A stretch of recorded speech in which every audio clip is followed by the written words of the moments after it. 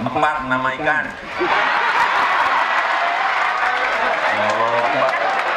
Sudarlun, Presiden RI Joko Widodo melakukan kunjungan kerja ke Kabupaten Biren, Aceh dalam rangka menghadiri kenduri kebangsaan yang digelar di Kompleks Sekolah Sukma Bangsa Sabtu 22 Februari 2022.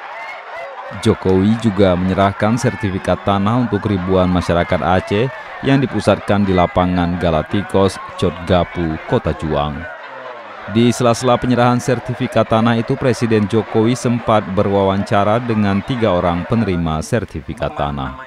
Salah satunya seorang ibu rumah tangga asal desa Kuala Cerape, Kecamatan Jangkabiren.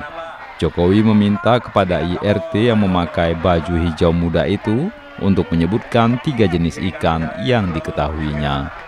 Sang ibu tersebut dengan cepat menyebutkan tiga nama ikan, yaitu ikan tongkol, mujair, dan ikan mulus. Sontak ribuan masyarakat dan para tamu undangan pun tertawa. Terakhir, sebut empat nama ikan.